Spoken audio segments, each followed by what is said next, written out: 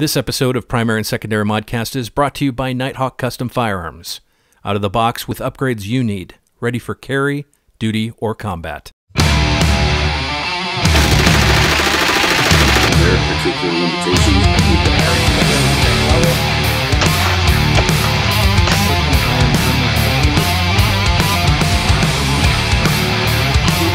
To have. Hey everyone, Matt Landfair here with Primary and Secondary. We are live. It is March 23rd, 2017. We're going to talk about helmets, ballistic helmets. Why? Because it's a topic we need to discuss. Uh, we have uh, we happen to have a industry guest with us who's going to help us out and uh, help clarify some some concepts. We're going to be talking about what exactly they what the helmets do, what we should be expecting from them, what they stop, um, suspension systems, accessories, how to set it up. Um, also, uh, going to discuss some of the stuff that's available currently that's fairly inexpensive, that's really popular, that is really popular that people probably shouldn't be paying attention to unless they are just doing some dress up. So, with that, I'll start out with some intros. Um, my background's in law enforcement. Um, I've worn helmets. I'm not fond of wearing helmets, but yeah. Uh, let's see here. Uh, firearms instructor, armorer, gun stuff, video games, social media. That's what I do. Lane Kritzer. Hey, Lane here, uh, retired law enforcement.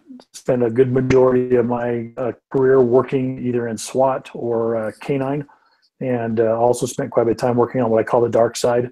So that's kind of where Matt and I met. Uh, I have a passion for shooting, passion for making sure the guys get the right type of gear, always wanting to learn more. And to kind of side rail the conversation immediately, I'm a tall guy.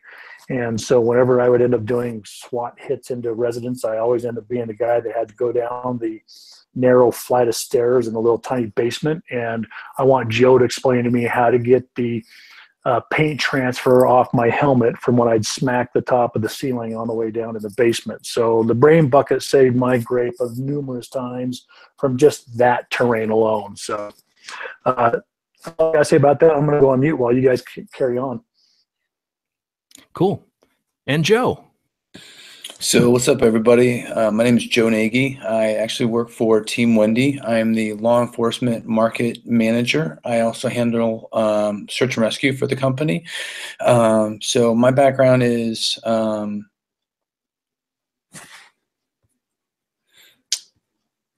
Hey, you're there. Um, so I handle um, all law enforcement, um, and my background is uh, firearms instructor. Um, love to shoot, um, love to train. Um, that's really about it. I don't have any law enforcement background. I wasn't in the military. Just have seemed to be in the right spot for uh, finding myself in the industry. So, right off the bat, how do you do that paint transfer thing?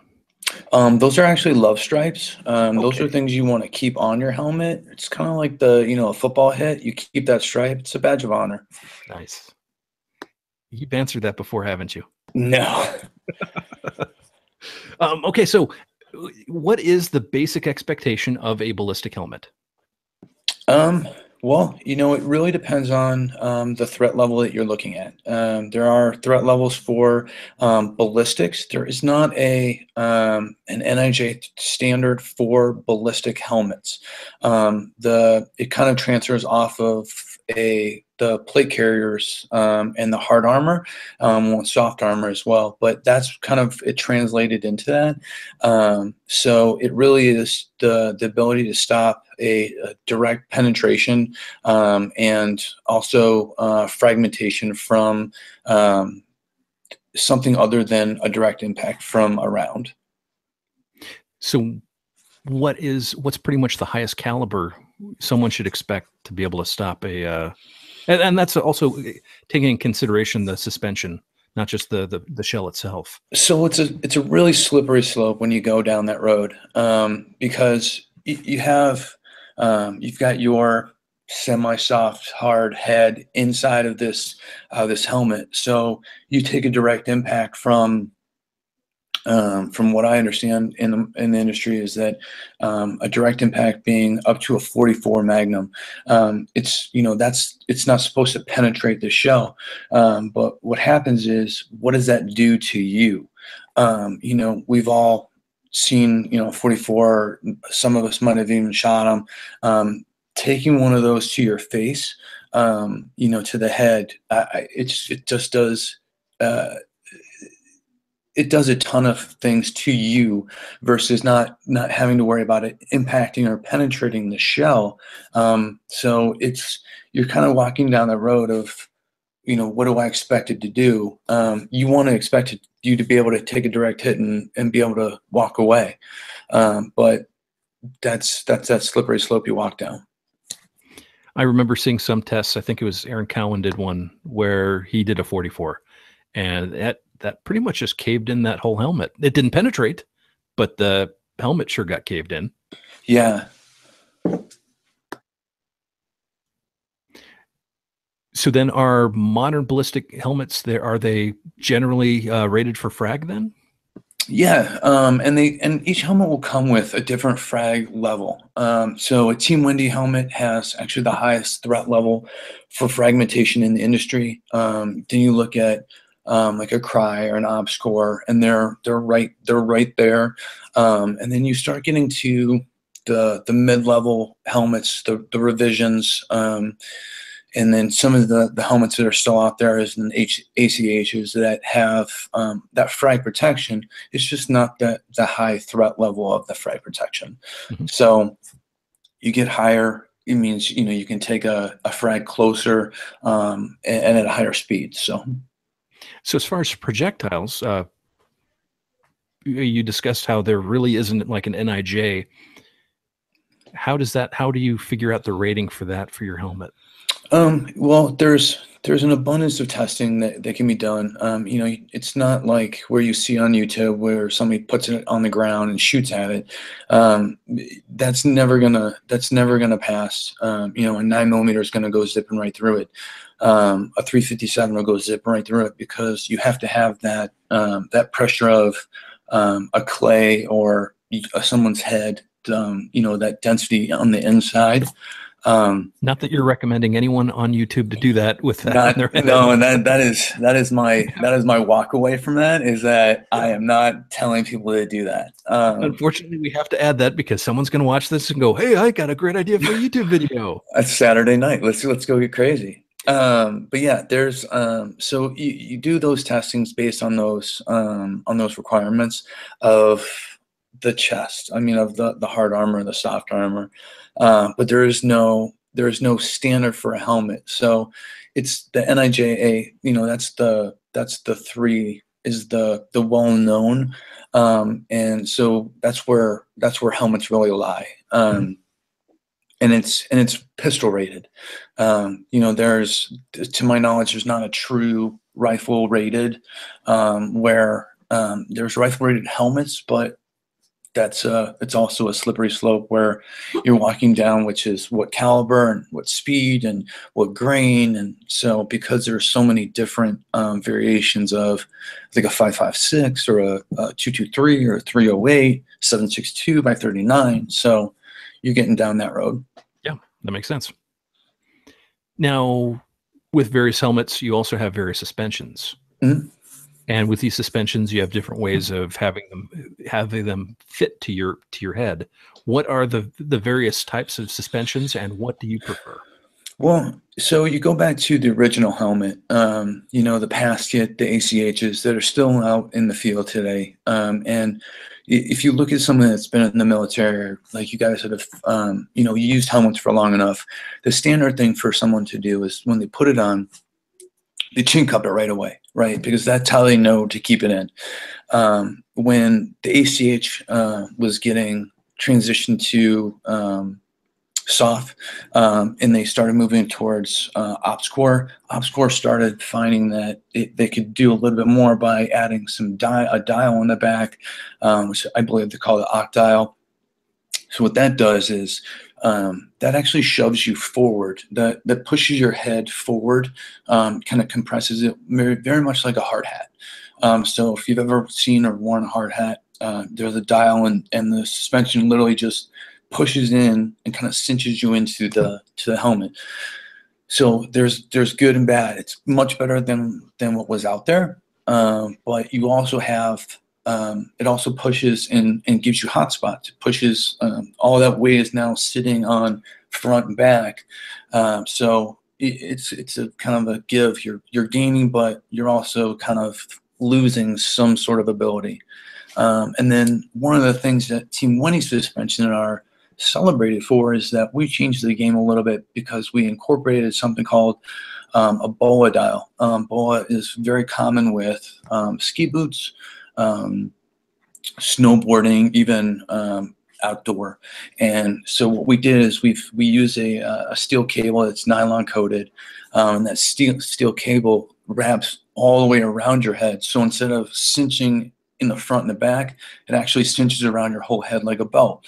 So now the helmet isn't sitting on the front and the back of your head, it's actually encompassing your whole head, uh, very much like a gun belt, right? And I always tell this to, to departments is that you don't feel your gun on the right or left all that weight with your mags. It's because your whole hip is absorbing that weight.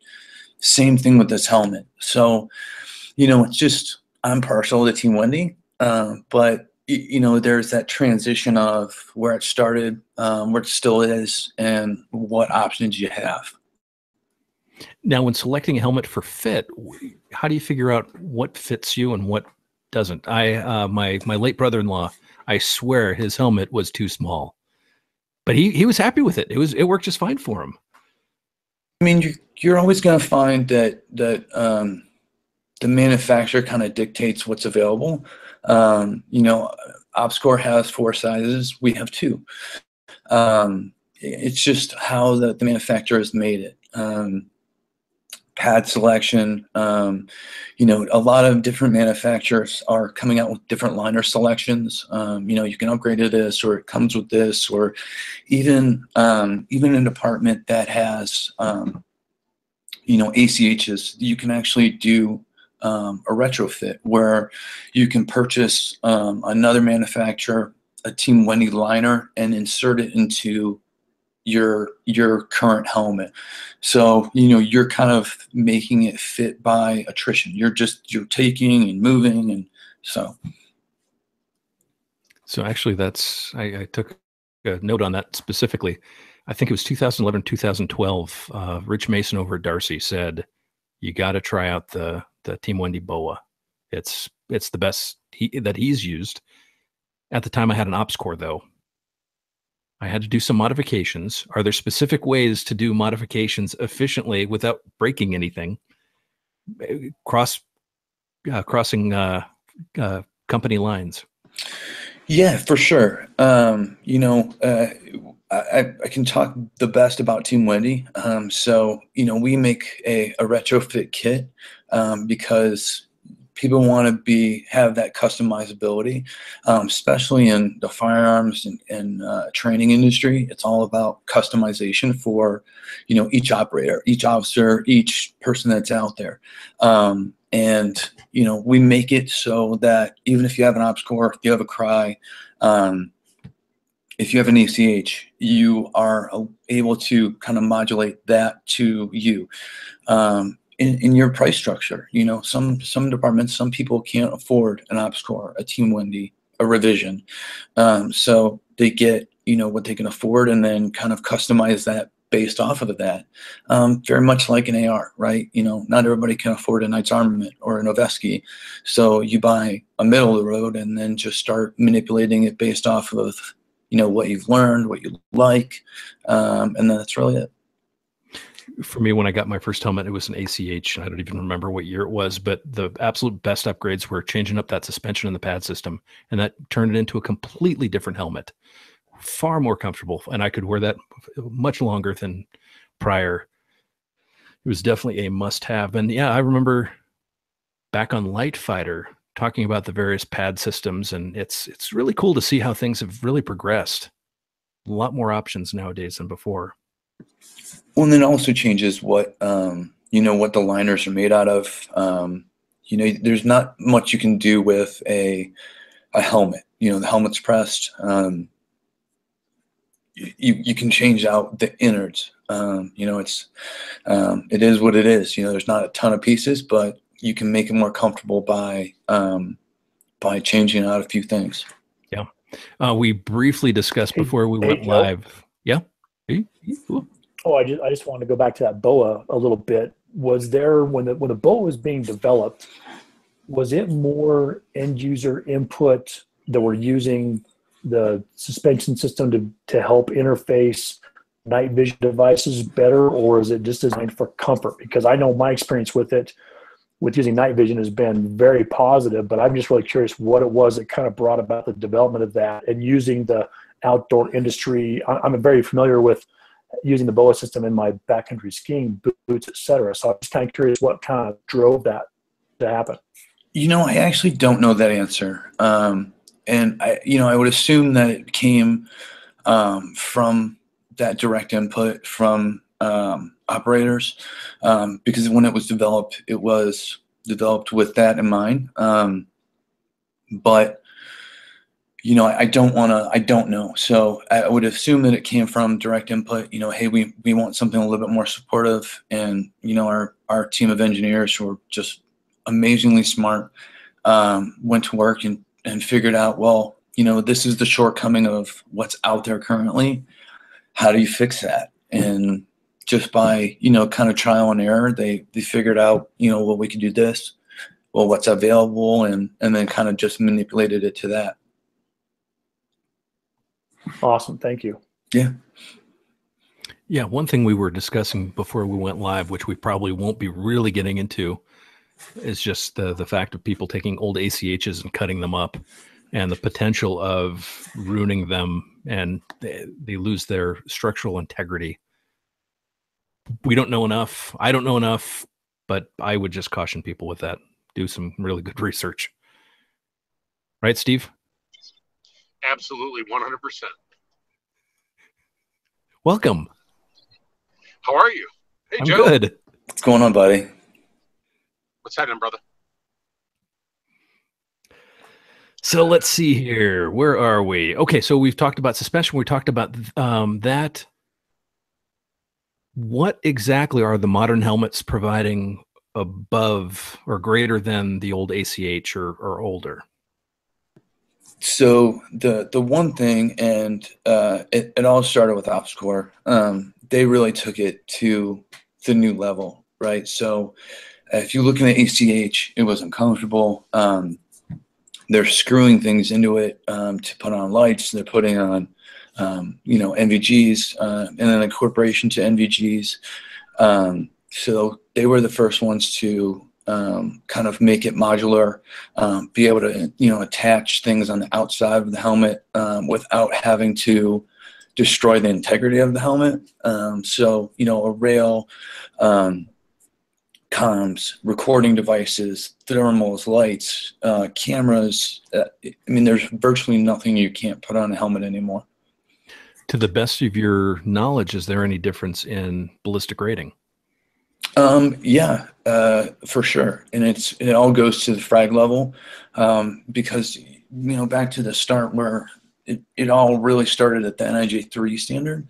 Um, it, it goes to that that frag level. You start pushing it by um, making it lighter. You start you start pushing that level by making it lighter, but also making it um, more protective. Cool. Steve, anything? Not at this point. I know I came in a little late on the conversation, but uh, I think Joe's Joe's definitely right about that. You know, what I have found in my transition through the years of helmets, from the ACH mesh helmet type stuff to the OpsCore helmets to the airframes, now to the Team Wendy's that I've been using for the past probably three odd years now, about three years. Uh, the comfort level is unbelievable. It's, it's I, you know, personally for me, I'm going to wear it more and longer and not have that constant take it off, take it on, take it on, take it off, take it on off thing. I'm going to wear that helmet constantly. And for me, being a big melon headed guy, you know, the fit was spot on with the helmet, especially with their suspension system and the adjustments. It made life so much easier for me to adjust as I went that to me there was no other alternative after that. And there hasn't been, and there probably won't be. Very cool. And of course, Bill Bill shows up and then he leaves. It's That's Bill. what- It's typical. We can't have anything nice. No. No, no, he- there he is. the one thing the one thing that I will say, Matt, that I found with especially when I made the transition to Team Wendy lids was that not only the comfort level, but just the way it sat on the head, I didn't get that bobblehead effect. Especially once I started adding NVGs, you know, my IR lights, battery packs, any of those things that started getting me off kilter making me feel like those little dashboard dogs that was the beauty to me of the Team Wendy. Besides the comfort, was the lack of bobbleheadedness. I, I personally feel it makes it a more effective helmet for me when I'm doing work with the helmet on, either in shoot houses, real work applications. It's just so much more stabilized on the head. I didn't get as much neck strain either.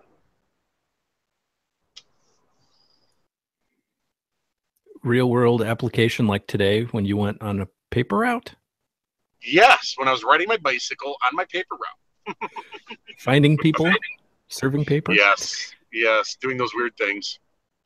Um, so speaking of modularity, speaking of all that, um, another thing that I learned about over at the at the Darcy were the Iron Forge concepts. Is it the Sarah? Yes, Sarah Yeah. Dappers. Those seem to have taken off and then some. And I love them. They're awesome. I always have I always have my ear pro with my helmet. It's so much more comfortable. It's a huge thing. When when Zach first came out with those, um, a couple years back, you know, I was, I was lucky to be part of the beta crew on those, and seeing the evolution of where it went to when he, you know, kind of dissolved that and sold it or whatever he did.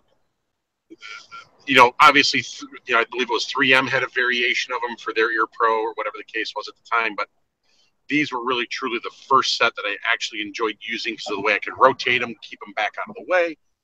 They were just so much improved over what was out there and once they became eligible, you know, get on the team Wendy's, it was like, oh yeah, this is perfect. Yeah. It's a perfect fit. It's a match made.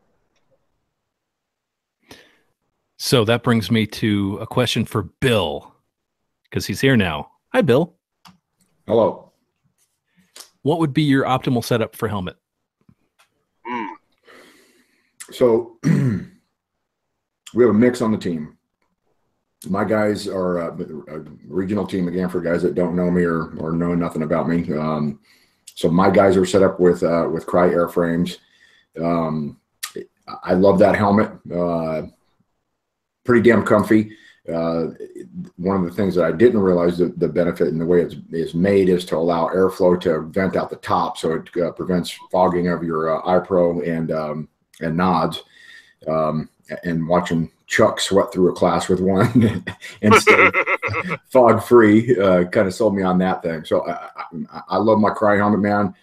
Um, it is set up with uh, with the Sarah adapters, uh, and I we I have my my group has Sordins, um, and it was a huge improvement when the when the Sarahs went on versus under the helmet, and you're trying to adjust pads and make space and all that kind of bull crap. Um, I mean, it, the the the Sarahs are that is a no joke, legit improvement to a bucket. yes. Um, and you know, you, you if you spend hours in a helmet, um, you, you notice it immediately, right? It just takes seems like it takes some of the pressure off the top of your dome. Um, it, it- they're they're just it's just what's up. It's what's the way to go. Um, so anyway, I, I like the Crye, man. Um, I have a, my personal one for Taprac is a uh, is an ops core. Um, and, and that's a good helmet too, man. It fits good. I, I did uh, change out and, and uh, put all Team Wendy uh, pads and, and harness on it, um, just because I think that it's a better suspension system. Um, super comfy, obviously, uh, with what they got going on. And then um, I just put the Unity Tactical uh, version of the Sarah, and I think that's who bought Sarah. Um, Correct. uh, what, do you remember what, they, what what is that shit called? I don't remember what the hell they named it. I don't know what the new name is. You know, the original Sarahs were those, and then Zach had sold those off to Team Wendy. or to um, uh, To L Unity. and Unity, whoever it was. Yeah. Yeah, yeah. Um, anyway, whatever heck Unity's deal is, the the nice thing about those, uh, and uh, Rich Mason turned me on to these when I was down at the NVG instructor school. Um, they take up less space on your rail, so that's kind of nice if you're running a, a light on the uh, on the helmet rail itself, or want to put any kind of accessory on your helmet rail besides just the uh, um, the, uh, the the Peltor adapters, um, which are a little bit bigger. Um, so, and then the other thing is they're a lot tighter on your head. Now they don't click on and off uh, like the Sarahs do. I mean that you, know you pull them out, you get the click, and then clicking back onto your dome. Those things are always just compressing your noodle, uh, but you get a super tight seal, particularly with the gel cups. Um, and I can still rotate them back and away, but it's all flex of the uh, of the arms themselves. And I don't have as much time using that as I do the Sarahs. Uh, I'm digging it. I, I think it's pretty slick setup. Um, but there's, I'm, again, I, I'm curious if after 10 hours with those suckers down, if it would start to compress your dome a little bit. But I, I'm getting that. That's a helmet accessory, not a helmet. And you asked specifically about helmets. So I got no problem with the Corps. Uh, uh, two groups on my team uh, just got the new Team Wendy's, and and that, that's a legit bucket, man. As Steve said, uh, that you put that thing on your head, it, um, uh, you know, I I mean, it's, it's pretty goddamn awesome. So is one better than the other, kind of a thing, and you know, I, I guess it's some of it's head shape potentially. You know, there could be some of that. You got a, a weird shaped coconut, and it just fits into a, a certain helmet better than others. Um, the ability to adjust all the pads around, obviously, on like the old school PASGT harness system, uh, which fucking sucked, by the way. Um, you know, on 15, 16 hour call outs and shit like that. Those things were just brutal. Um, so, man, I, I think you you know if you stick with the big three, um, the Crye, the Ops Core, and the uh, and the Team Wendy, you're going to be in good shape regardless. So, I mean, I, I would certainly take any of them. I certainly trust any of them as far as the ballistic uh, protection side of the house goes. Uh, all reputable companies. Uh, you know, no concern about that one's not going to stop a bullet or uh, you know any of that kind of bullshit. So, I don't really have a fucking favorite to be honest with you. Didn't you recently also change the like recently within the last couple weeks change the inner pads? Or am I, I- thinking of someone else? Well, I did that on the uh, on my personal ops core. I bought a, a straight up ops core, and actually it was a guy. I think I got it off the uh, the primary secondary supply depot, um, but it was essentially brand new. Uh, dude, dude squared me away and gave me a, a solid deal on that. and so when it came in, uh, it was one of the first thing I did was was change the pads out to the Team Wendy. Uh, I thought the harness was okay, so I left that for a minute.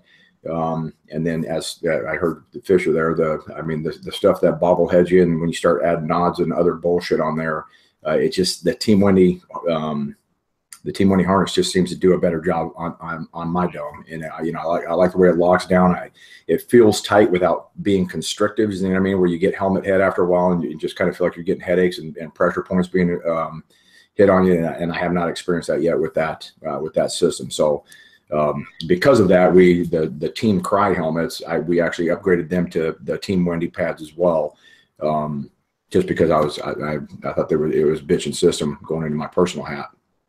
What's been their feedback since they got the Oh, dudes upgrade? love it, man. Dudes love it. Uh, I- the- everybody likes the Crye helmets, man. Um, my guys like them anyway. Uh, you know, again, is the venting component of that thing? Is it is you know is it really doing a lot? The answer is shit. I don't know, man. None of us have bitched about our stuff fogging up, so I guess there's something to that. But I can't say my my shit is fogged up wearing the ops core either. Um, I don't hear the dudes with the Team Wendy helmets bitching about my you know my shit's all fogged up. So, you know, at this stage, I think those helmets, the Crye helmets now are maybe six years old, seven years old. So we're, we're coming up. uh, We replaced hard armor at ten years, um, and so we're coming up on on a change out. And uh, my guess is the dudes they will either stick with Crye or they'll switch to Team Wendy. Um, and if I had to if I had to lay down the dough on it, what they would want to do, they would probably all switch to Team Wendy. Now, Joe, with the Team Wendy helmets, do they already come decked out with all the all the goodies that uh, Bill was talking about?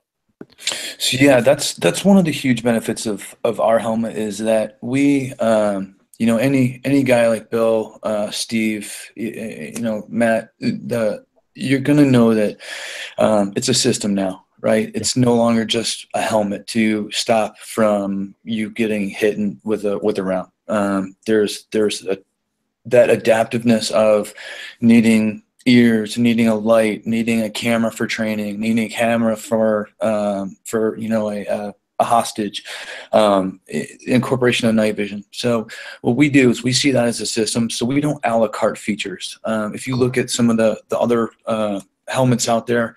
Um, there, you have those. So, oh, oh, you want a rail? Oh, well, that's more money. Oh, you want a shroud? Well, that's that's more cash.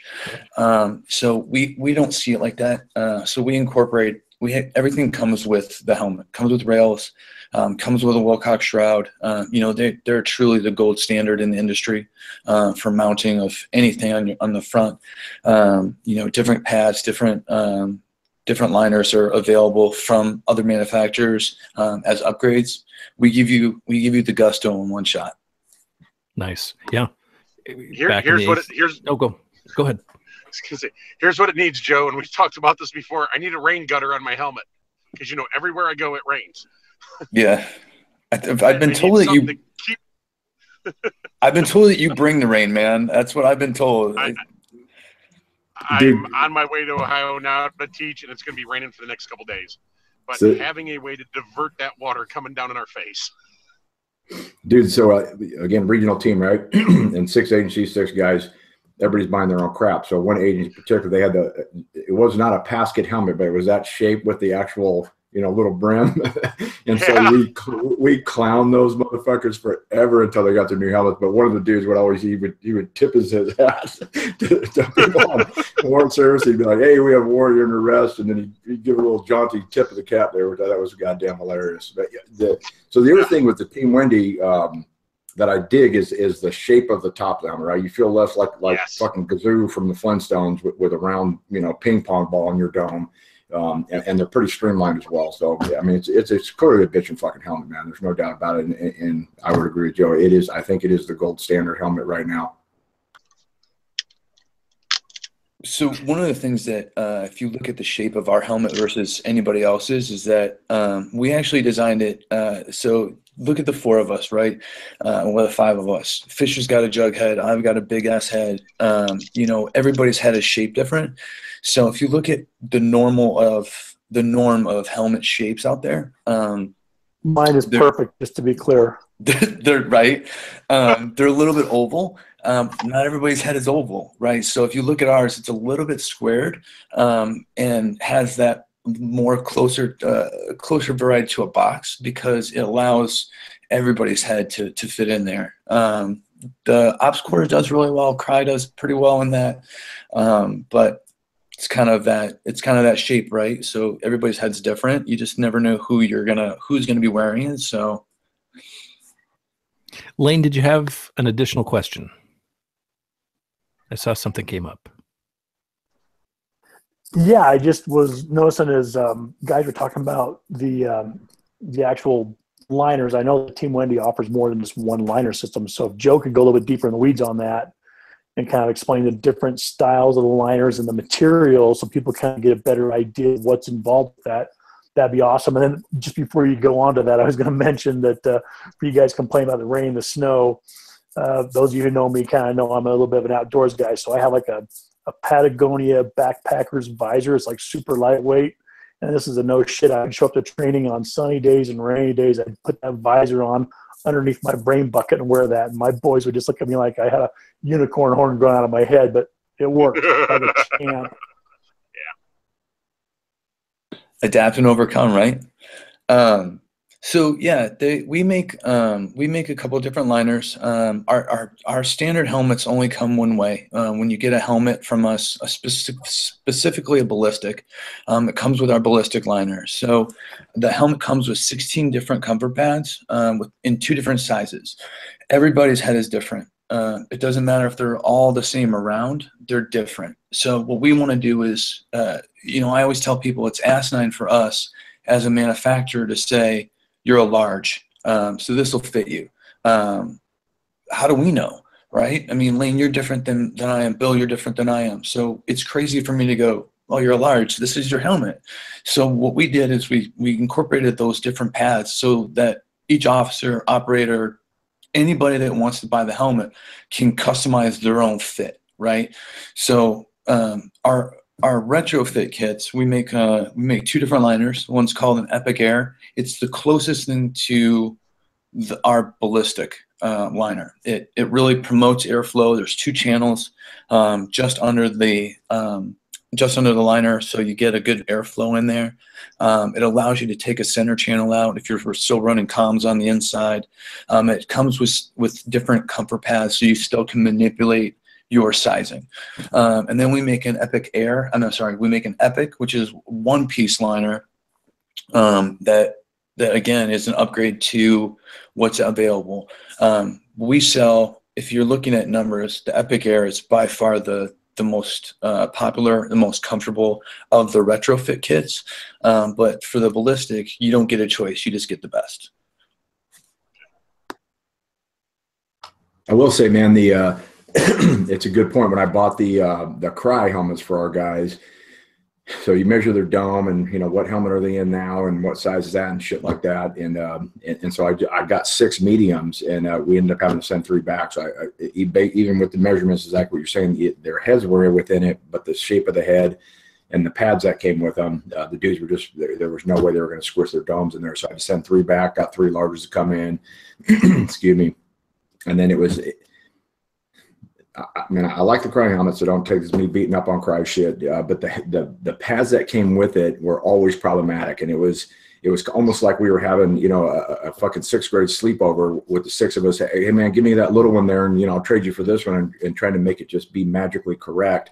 Um, and, and, none of us ever actually. I mean, it, you know, you, you whatever. I'll, I'll, make it. I'll make a fishing bucket work if I have to, right? Um, and I think dudes just made it work. And then when we switched out. Um, to the Wendy. Uh, I think we did the Epic Air retro kits for the Cryes. it's just a huge difference, man. It's a, it's a, it's a vagina on your head all of a sudden, and, and uh, I mean it's a huge, huge difference with comfort and just the, the the, the ability of those guys to wear it for ten hour training days and, and do all that shit is is uh, it's it's pretty slick system for sure. Um, that is the one thing I hate about the OpsCore helmet is the stock pads that come with those weird foam block bullshit.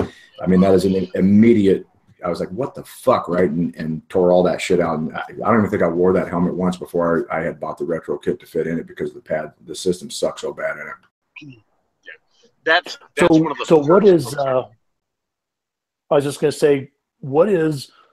Because you when you when you hear about the the liner material, it's made of Zorbium, which sounds like a, a medication you take for uh, depression or, or God knows what. But but you know, for those people who don't know, guys who work like I worked in a cold weather environment for a long time, so not to talk bring up another manufacturer's product, but you know, there were liners that we had in our helmets that when you pulled them out of your bag to go to work, all of a sudden you're you're putting on a, a block of ice. So what is it about Zorbium that, you know, what are the pros and cons of, of this material that's in your liner that you guys provide? Yeah, so that's actually a really good question. Um, and most people don't know uh, the name of it. It's a proprietary uh, foam. So um, we actually hold the, the military contract for uh, the seven pad set in every um, standard issue helmet. Um, we didn't design it. Um, it was in replacement of the PASGT. So the PASGT, for people that don't know what that is, um, it's a sling suspension helmet. Um, if you've ever looked inside or seen a, a fireman's helmet, it's you're literally sitting in a basket.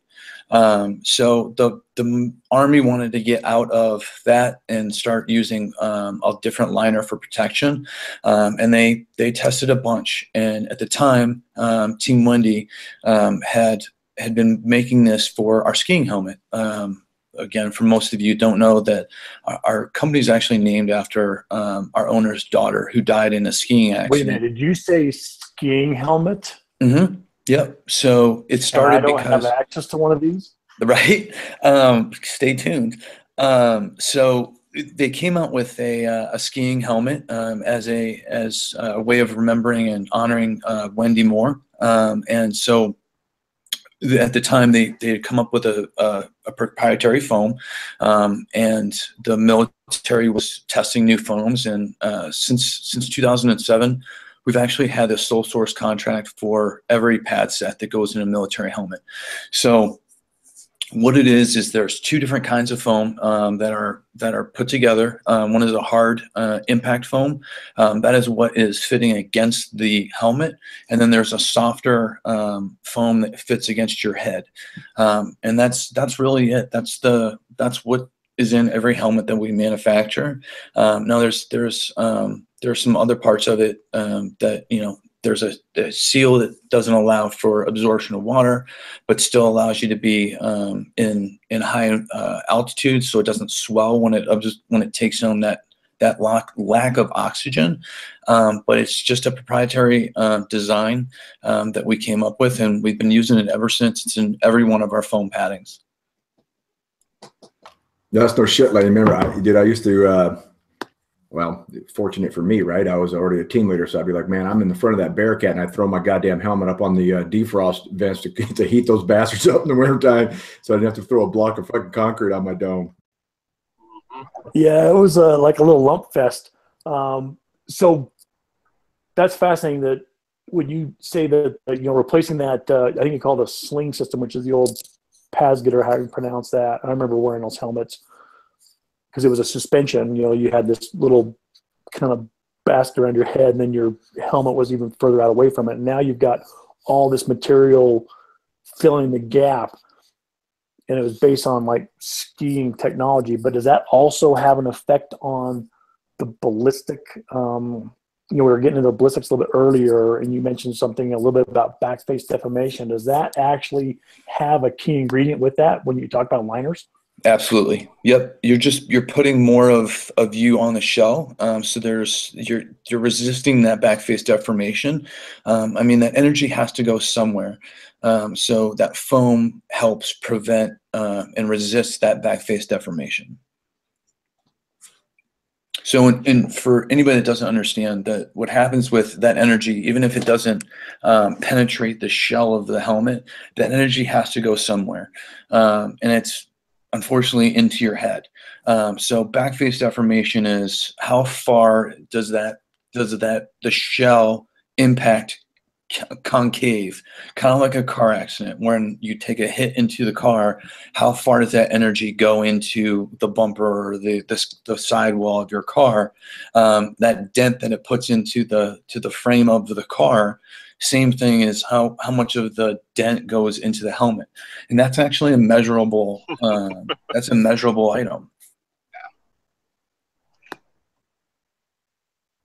Yeah, that explained it very well for everybody that's listening. You know, one thing I found when I had first switched over suspension systems in my old airframe, and then before I had went to the Team Wendy, was not only the comfort of but the pads and the suspension system stopped so much of the hot spots that I knew dudes were getting. It, you know, especially the bald guys. No offense, Joe. Um, you know, or the guys that were shaving the heads down really close, whatever the case was. But the hot spots, the rubbing issues, were always a big problem. That was solved for a lot of us when we switched them over to the new suspension systems and the pads.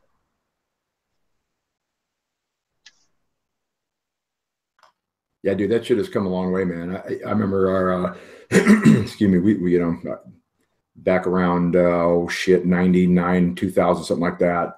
Um, and we had, you know, stand like the old RBR helmets and shit, with kind of a, a standard kind of PASGT suspension system. And maybe they added a top pad, you know, uh, something like that. Um, but I remember when we first switched to the Oregon Aero pad system, which was kind of the first, you know, set of, set of shit you get after market. And, and, and the same thing, we were like, holy crap, this is incredibly different. And it, I mean, shit, technology just keeps pushing right along. And, uh, you know, war has been good for cops as well in the sense that we benefit from the equipment uh, gains that those guys have made and, and making our war fighters more effective. Uh, it's also made the SWAT guys more effective as well. So, uh, yeah, man, you I'm telling man, dudes are thinking, you know, well, is it worth the cash to, to drop on the uh, on the Team Wendy uh, retro kit? Yes. And I'm telling you flat out, dude, you save your fucking aluminum cans and and get a system, and, and you will shit when you see how much difference it makes. You know, you one know, of the, that's funny you say that because one of the things that I find uh, being in law enforcement, you know, the the um, crazy amount of departments that I talk to um, that you know they don't have a budget for an OpsCore or a Crye or a, a Team Wendy because um, those are upper level those are upper level helmets um, where you get a um, you know just an old ACH and you're kind of you're kind of at the whim of what was in it. Um, you know having these retrofit kits of any kind not just Team Wendy but um, having those kits makes it where you know an officer that or a team that can't afford those but can make them more comfortable for the department that or those guys that are wearing it on 12 hour call outs you know 18 hour call outs um, it makes a huge difference Yeah, man, for sure. I, am not sure a lot of dudes. Um, so th- there's a ton of the um, um, NIJ grants and shit like that that cover armor in general, uh, but I'm not sure that a lot of agencies even know that they can get some hard armor products for their cops off of grants. I mean, they focus on the soft body armor stuff. So for the teams that don't, like you said, don't have a budget at all, right? SWAT is just a thing, but there's no line items or anything to help support them um, potentially, man, that's something you can look at with with whoever's running your uh, your armor program and see if there is some dollar set aside to upgrade your helmet. And, and I don't, you know, I'm curious, Joe, if you have a, uh, we have always gone by the um, 10 year replacement on on the hard armor items. So our helmets and ballistic shields, um, they're 10 years and then they're out of service. And we typically shoot them when we're done, just kind of see what the hell we get out of them. Um, but is that something Team Wendy has to? Is it a 10 year suggestion or, or what's your, you know, what's your, what's your thoughts and theories on that? I don't know if you guys already covered this or not. I'm going to give you my official answer. And this is where I go official. It's five years. Um, that's, that's the industry standard for, for, uh, helmets. Um, and it's, it's usually for hard armor as well. Um, but it's for, for helmets, that's, I don't, you know, after the five years, I can't tell you.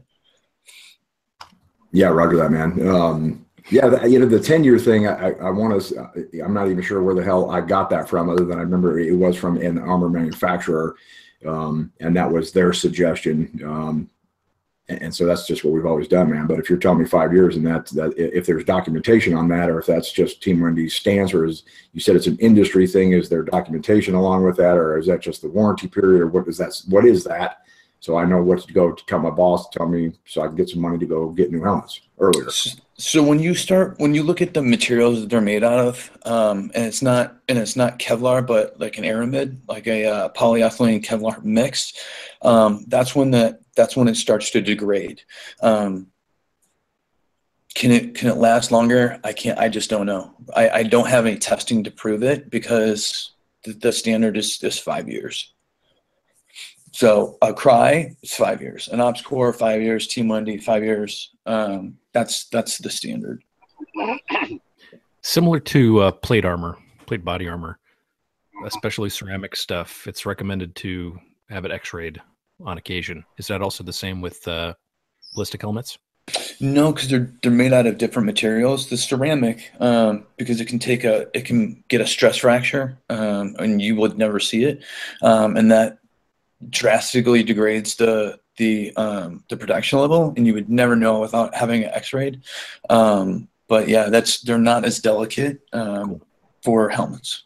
Cool. Yeah, we're now getting uh, live questions, so it's kind of nice. Perfect timing.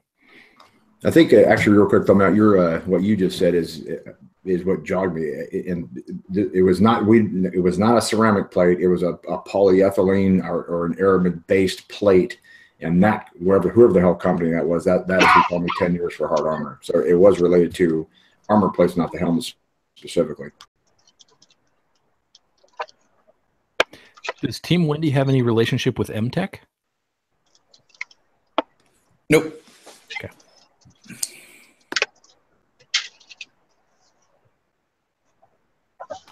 I've good. I've heard good shit about MTech helmets, man. I just, I haven't touched one yet. I ain't seen one, so I have you know no idea what the hell they're about. Same thing on my level, on my end. I've I've seen like pictures, but I've never seen an actual, um, you know, tangible touching uh, helmet. I think Mike Martin had them for about a minute, and then it just was too complex, and he narrowed down his product line. Um, what about any recommend? I guess this would be dependent on the pad but someone's asking about how exactly do you clean the pads?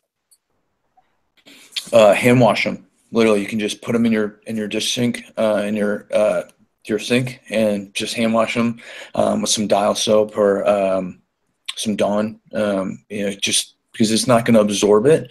Um, so it's because um, it's RF sealed. Um, so it's just you're really just getting the the stink off. And also, does Team Wendy sell direct? For sure. for sure.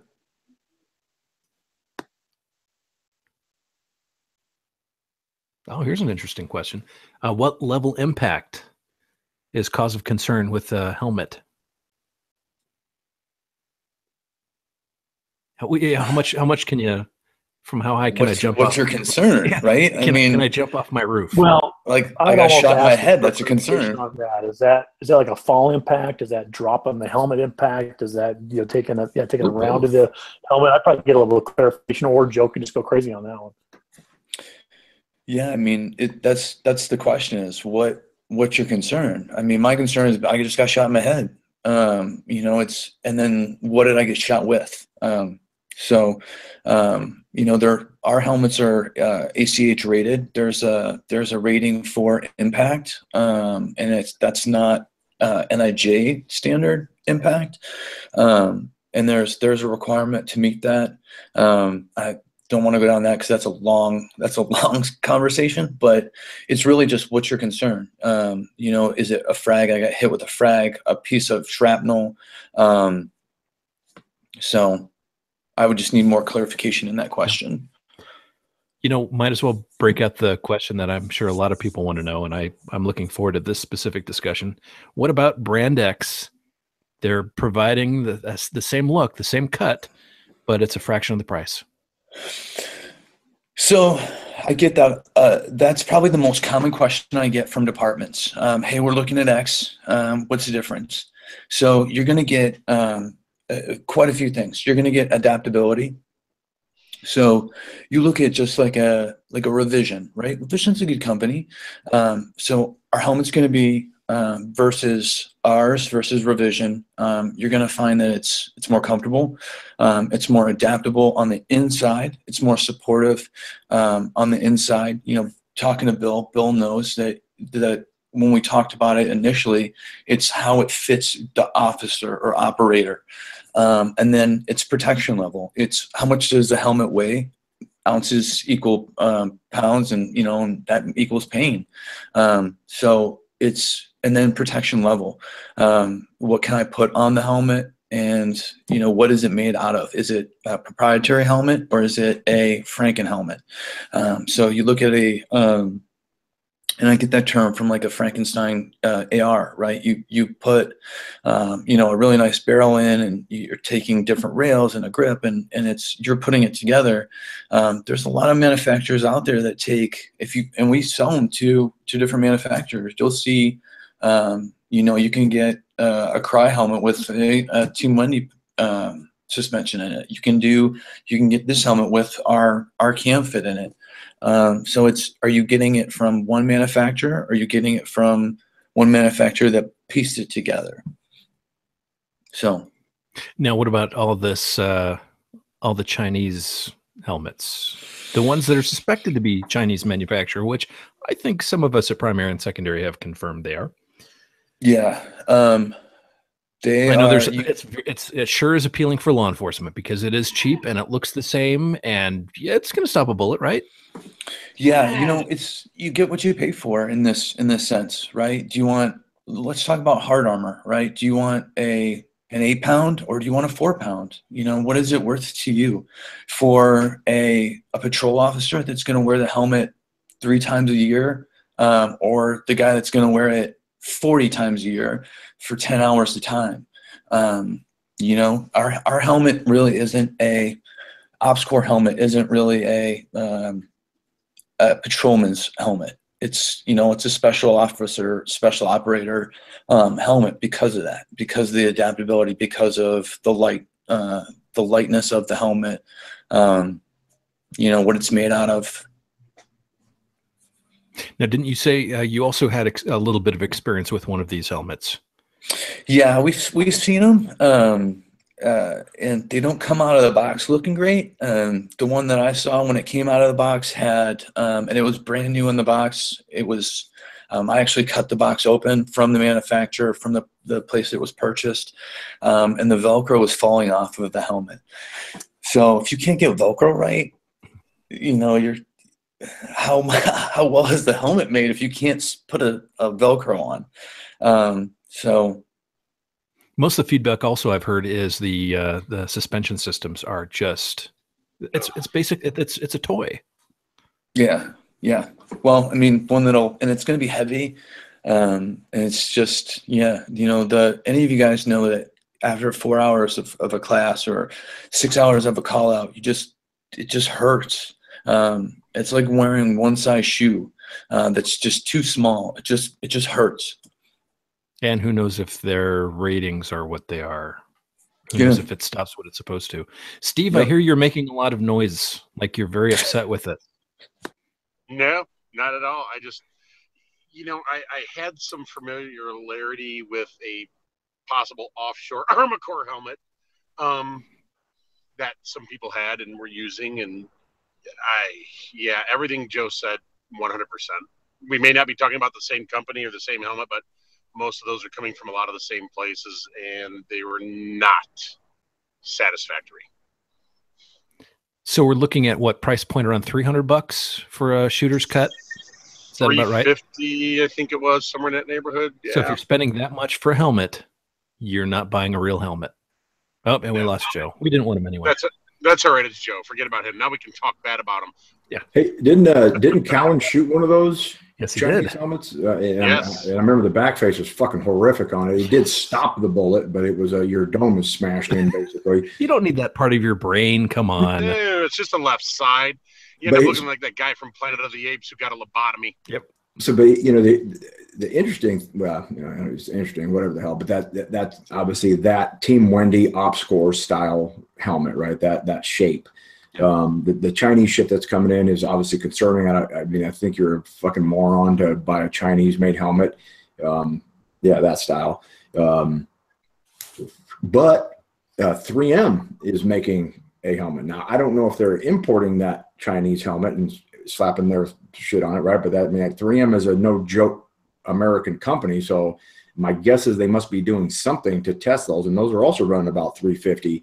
Um, and so, I mean, I haven't shot one, haven't tested one. Um, it- you know, it, so I, who the hell knows, man? Um, it, it, it there's got to be something though, right? When the, the top three helmet manufacturers' price point is is very similar, um, th- there's something behind that, man. And, and so, anytime somebody comes in with a Cadillac that costs three hundred dollars, I mean, you should be thinking, what the fuck is going on with this thing? And if you're not suspicious of that, then you, then you're kind of a dumbass, man. And I guess you deserve to get a shitty helmet.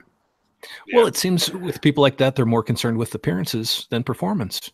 It's all about the look and not well, actually protection. Yeah, I, you know, and, and I think Joe, Joe's point is, I mean, it's valid, right? For an organization that's trying to outfit, uh, you know, a ton of dudes, or um, you know, agencies that are buying a helmet for the car, right, and, and kind of thing, and, and you know, just trying to give dudes a little bit of extra protection. But Joe's right there; those guys are rarely, if ever, going to wear that.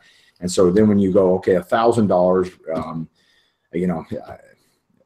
times X number of patrol guys, I mean, that, that can get very, very expensive very quickly uh, for an equipment item that's really not going to get much use. So, I, I mean, I, I wish we could afford to buy So patrol guys.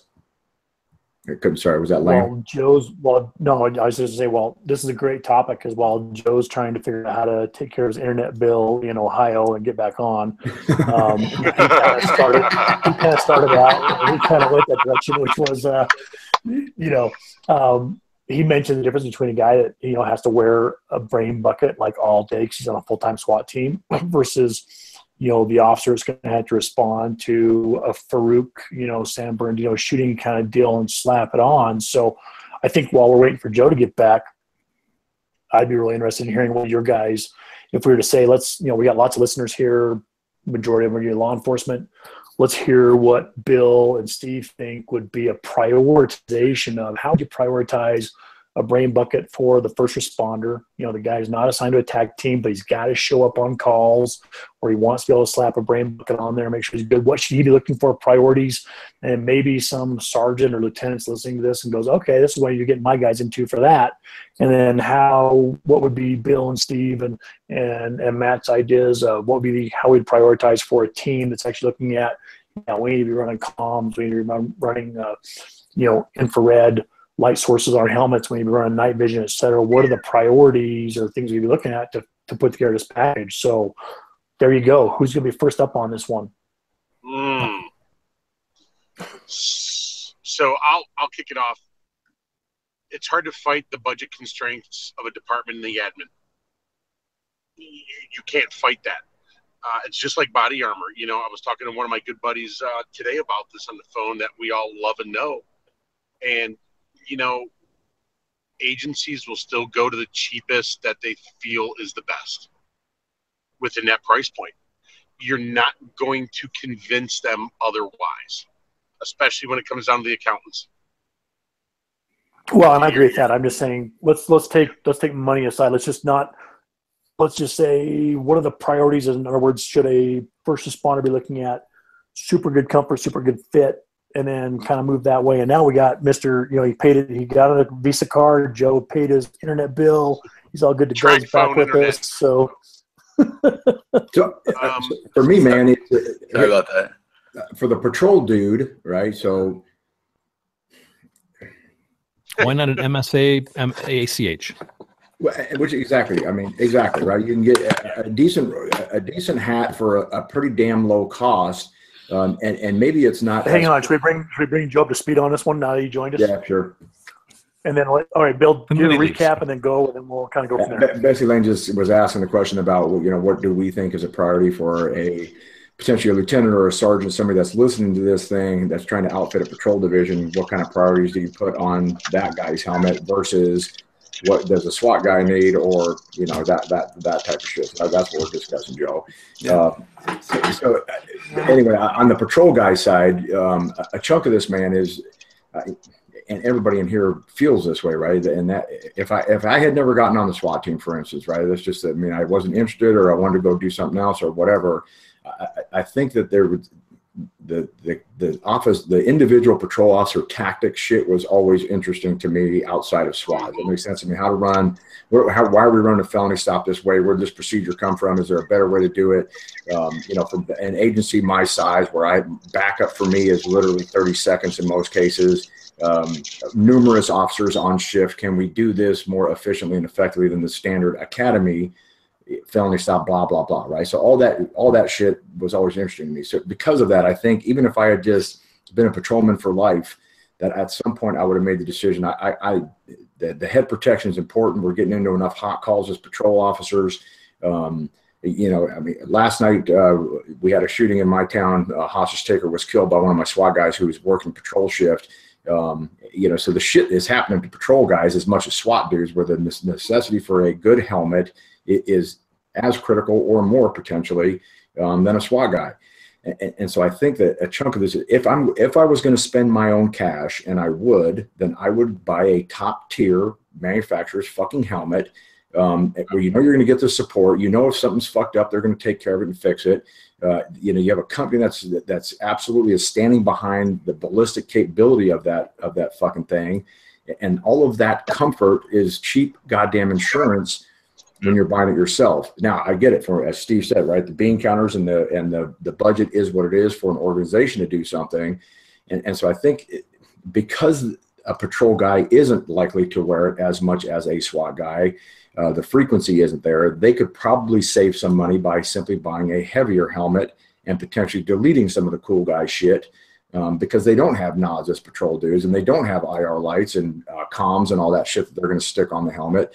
Uh, and so a slick ACH is still a fucking good helmet and you can get those fairly cheaply. And, and that's an easy way to outfit patrol dudes with something that isn't, you know, uh, the, the shit I got issued when I joined the army in 1985 with the steel pot and a fucking liner, right?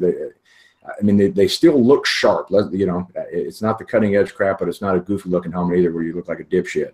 So I, I think that's what a patrol division should probably be looking at if they're going to outfit the patrol guys. And, and like it or not, man, you know, that I was kind of being a wise ass there with how it looks. But, if, you know, if I bought a dude an awesome looking helmet and it, it, you know, it looks like a PASGT, I'm telling you, they would be less likely to put it on because they think it's some janky old shit, right? Even if it's brand new, it doesn't look modern. It doesn't look like a fighting man's helmet. Um, and so it's going to ride around the trunk and get clunked around and, you know, it's just not going to do shit. So you do have to consider you know, keeping the guys looking fairly fucking crisp, right? Otherwise they're just going to say, fuck that shit and not use it, period. So now you've wasted money. So there's that on the SWAT side of the house. So I want to hear what I want to hear what ahead. guys have to say, but just did some math for you real quick. So if you Bill Studman Mott Blowers decided to pay out a thousand MSRP for like the top of the line helmet ish. That's just a ballpark, and it's good for, as Joe said, industry standard five years. That turned out to be 54 cents a day for you to be able to wear that helmet, which means you could have afforded to forego one pudding cup a day One pudding cup, to be able exactly. to have what you thought was the deluxe helmet. dude it's that is a, a single that's a single overtime shift at the construction site right it's Yeah, that's, there you that's, go. that's, that's that's two nights at the football game you know separate duty shit for fuck's sake man I just want to give a, I want to give a numerical value there before we moved on with the rest of the guys. So there you go, one less pudding cup a day, bro. So I- I'm looking right now, uh, Par- uh, Paraclete, which is not a, a shitty armor manufacturer by any stretch of the imagination. Their uh, ACH looking helmet is $200 from Galls. Brian fucking knew, right? So there, there's a cheap helmet that's obviously effective. It's a reputable company, whatever the shit. So there's your patrol division hat. If you're a, if you're a SWAT dude, uh, you know, again, I mean, I think Joe made some valid points, right? What's the frequency of wearing the damn thing, right? So, um, quick math in my head here. I'm doing 300, 30, 40, 370 hours of training per year minimum. That's the mandatory shit where I'm wearing that fucking thing. And then 70 something call outs, X number, uh, you know, depending on what type of mission it is, um, where I'm wearing the damn thing. And then now you send me to outside training, I'm wearing the damn thing. And so there's, there's a lot more, obviously regardless, all these, all these motherfuckers need to stop what they're ready to stop and they need to have minimal back face deformation and do what the helmet is designed to do which is protect your noggin from from bad stuff right um, but at a point where you're wearing the thing a ton man the, weight component of it and, and modern materials and modern manufacturing it costs money. Um, and and so you're absolutely you want to pay for that. I mean the ounces equals pounds shit right? The old the old mountain climbing stuff the backpacking um, is absolutely valid here right? I, I, I mean there is you know, perhaps a way to sell that is is going through your risk manager and talking about, you know, fucking potential neck injuries, neck pain, loss of sick leave. Now I got to go to the chiropractor and all this shit because I'm wearing this 18 pound bucket on my dome, uh, and that can be alleviated by a lighter helmet. I think a, team that's looking forward should be buying a helmet that is going to support them moving forward, right? So, uh, night vision becoming extremely big in law enforcement and in particularly in SWAT teams.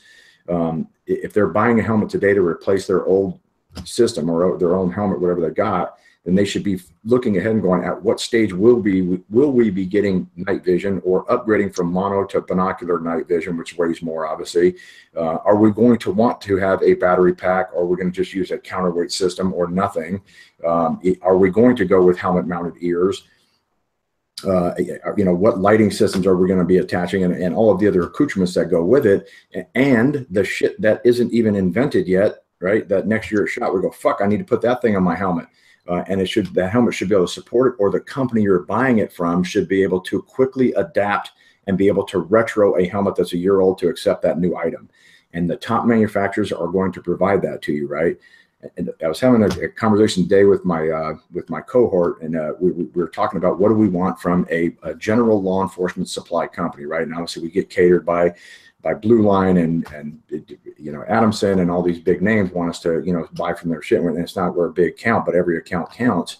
Um, and he gave the, the speech to the dude. He said, "Man, he goes, don't save me any dollars, dude. I'm not, you know, I'm not interested in pennies off of shit. I want fucking customer service that is that is top notch, and I want a quality product. So whatever you're offering should be quality shit. And if you're, you know, if your if your shelves are full of garbage." And you have one cool thing, then that kind of tells me what your company's focus is. And so be cautious of that, right? I mean, I mentioned, you know, Galls not their shitty company, but they sell everything. So are they really a helmet manufacturer that understands what a helmet is supposed to do? Or are they cookie cutter selling you, you know, 25 smalls, 25 mediums, 25 large, 25, you know what I mean? And, and hoping something fits your, your, your people. So uh, to, uh, the customer service component is huge to me, man. You know, I, I, want to be able to get a fucking response if something is broken. Uh, you know, if, if, shit is fucked up, if whatever. And that, I mean, you know, t- tough to break a helmet, but I, I mean, it, obviously shit can happen, right?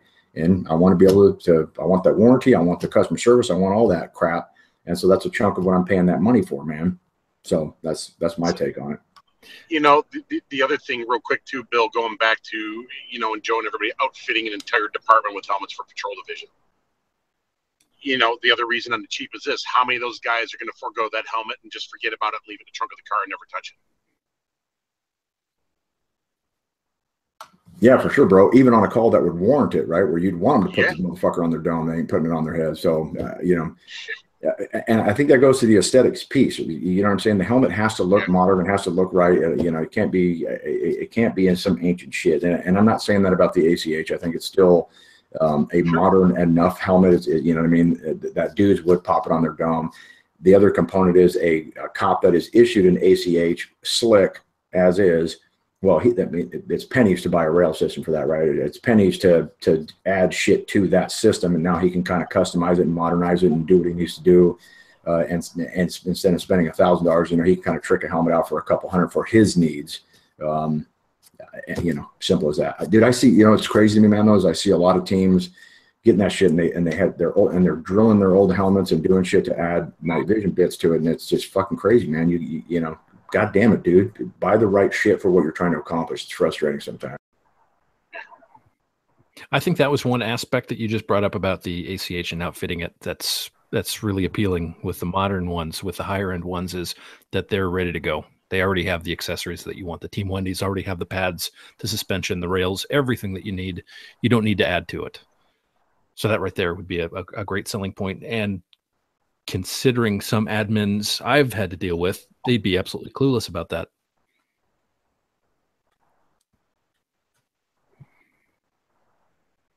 Right, Lane?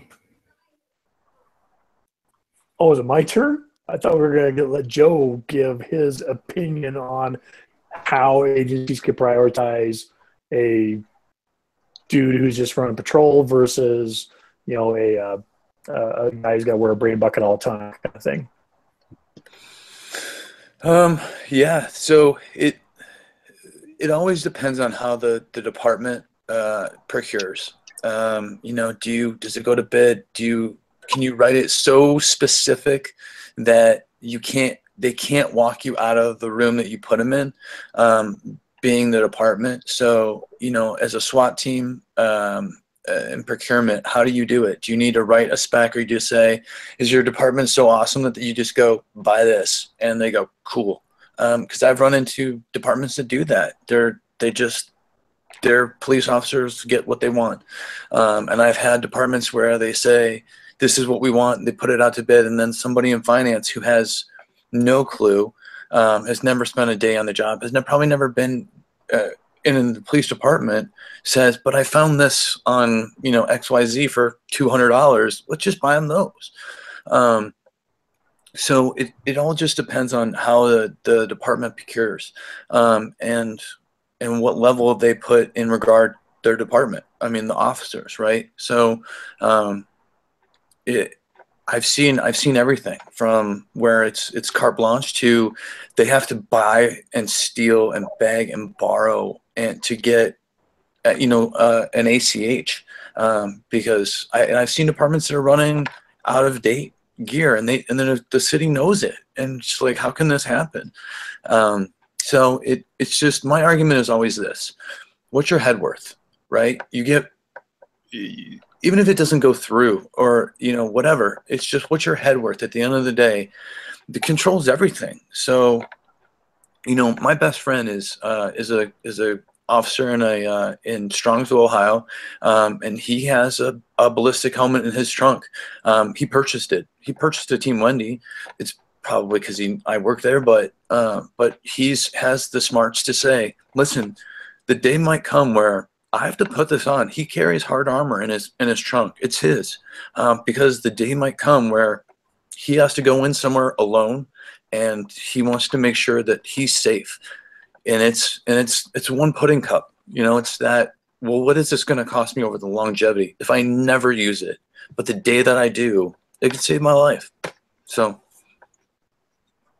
Yeah, you brought up a good point. That is that you know we need to recognize that there's agency purchases and there's individual officer purchases, and there's these individual officers out there that are really focusing on doing a good job, and they are willing to put their extra money into buying a product. And just like Bill said, it's got to be a good product, has good customer service, etc. And to be prepared to go out to the job, which you know, it may be a um, a low frequency but high intensity kind of deployment they go on, and so they decided to go ahead and commit to putting you know buying a ballistic helmet that they normally would expect. You know, maybe maybe eighty percent of the rest of the law enforcement community says, "Hey, agency, buy it for me," but yet this your friend said, "No, I'm going to get that and have it because you know it's worth it to to that individual officer." So those are some really good points on that. Um, Steve, you got any points on uh, prioritizing little features? I mean, I, I, guess along with that, I mean, not only just you know prioritizing, you know, how much money we spend, et cetera, but what are you know, I would look at it as a, knowing that you know the shell of a helmet is pretty much just pistol rated based on velocities, et cetera. I would probably look at you know as a patrol officer, I might just be saying, hey, I want to make sure I've got something that's comfortable and fits well versus the SWAT team member has all the features to be able to mount all the products on there. So, so Steve O, what, what would you do as far as priorities? Uh, obviously, the helmet. I would then go secondary to Ear Pro. Do you have integrated Ear Pro with it? Especially if they can hook in their comms to it with their patrol radios. And then after that, I would be looking at some type of identifier, you know, either IR patch or whatever the case is, a chunk of Velcro on it that these dudes can throw something on to separate them from everybody else. Where would you get such a which, where would you get such a patch like that? Spartan Village. Ah, Spartan Village. There it is, right? I mean, something, even if it's their their their badge number, patrol number, whatever it is for that particular car or whatever it is that they're setting up the helmets for. But some type of identifier, so when the rest of the cavalry does show up, and if it's a SWAT team showing up, if it's a standoff, and the dude's been in the dark for a while and he's hanging out there, they'll pick him up under their NVGs. You know, something to separate him from just a dude with a gun. But honestly, the lid and the ear pro, that's that's what I'd be after at those points.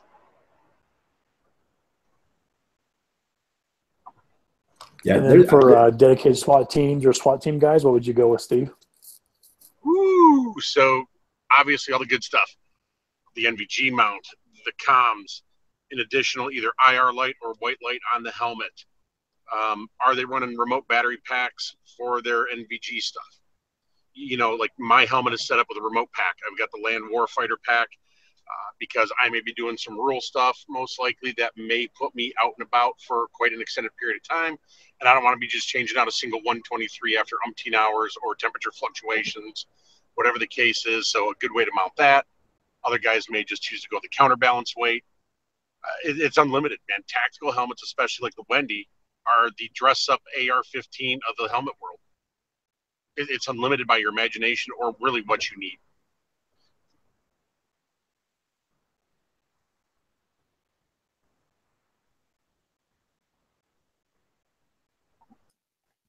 I think it's most important that uh, we start quantifying everything by pudding cups. Pudding cups are legit. Yeah, it should be the it should be the moniker for um, for dollars. It yeah. Mm-hmm. At I the agree. end of civilization, you can actually trade, you know, food or beer or even gasoline for a pudding cup. Mm, butterscotch. You went too far. Too far. Never, never too far. I mean, you know, prioritizing a helmet though is going to depend on the dude and what his what his role is. That that's the beauty of those helmets now. You know, but, that, but that's really it. It's what does that dude need? On, on Steve's point, there, uh, there, and I don't remember the company, but there was a, it was like an elastic headband um, that you mm-hmm. basically slapped over an ACH. And one side it was like bright yellow police, and then if you flipped it, it was, it was uh, reflective police. You know what I mean? So I remember those. Yeah, it's. I mean, so for a patrol division, if they're trying to get guys, you know, set up. I mean, uh, you know, Steve's talking about the, the uh, IFF for for IR and and that kind of jazz. Uh, but just the reflective side would also show up um, to give dudes something. You know what I'm saying? Uh, I, don't know. I mean, whatever. Yeah, I, am down with the Home Depot like uh, mailbox decals. They'll work. Someone just mentioned the 3M helmets are made by Ceradyne. Okay. Uh, so I don't know if that's necessarily a good thing or a bad thing. Well, Ceradyne's been, aren't they the makers of SAPI? Mm-hmm. Yeah, so I've been around a long time. Um, it, it's it's the, the, price point on that helmet is crazy though. I mean, it's it, it, I was almost like, man, I'm not sure what you got here. Uh, one of our uh, groups uh, was doing a T and E on one, and I was like, man, I'm not sure this is this is what you want, but. I also want to clarify, it just so people are aware, this is not Cyberdyne who made the Terminators. Just so oh. These are important facts. Okay, so where are we? No new questions. So, what are things that people need to look at when they're looking at a helmet to to avoid that crap? How do you tell if a suspension is a good suspension? How do you are are there is there anything that you guys have found that that is a basically a red flag saying, yeah, this isn't any good? Made in China is is one.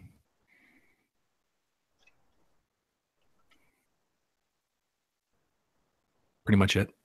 Yeah, I mean, the what I would tell you is just, I mean, it, it all goes down to what you can afford, and then and then kind of adapting to that. You know, so I, there's anything made in the United States is going to be a good is going to be a good starting point. It's just where do you where does your where does your your pocketbook or department allow you to to get, um, and then you know is it complete out of the box or do you have to make modifications to it?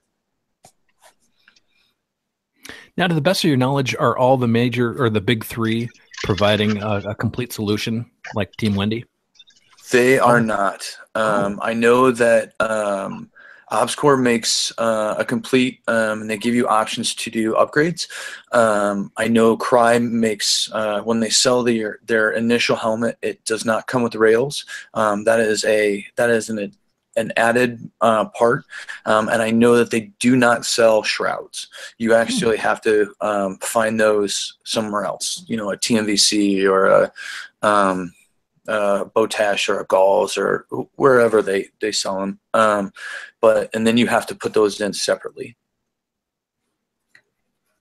And so, right off the bat, aren't they aren't the big three basically at this about the same price point except mm-hmm. for team wendy's just providing all that yeah okay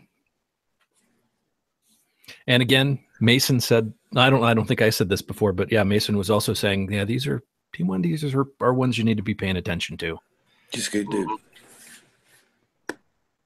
Yeah, I think when we bought our Cryes, I think we even, I think we might have even had to order them with either one hole or three hole because we we did have to put our own shrouds on it. I don't know if they're still doing that or not, since the one holes have kind of gone the way of the dodo. But um, but yeah, I will. You know, here's the other thing too is my uh, I get for whatever reason, the the Crye helmet compared to my OpsCore and the guys that have the Team Wendy's, uh, my NVG adjustment up and down on the Crye, I can't get it.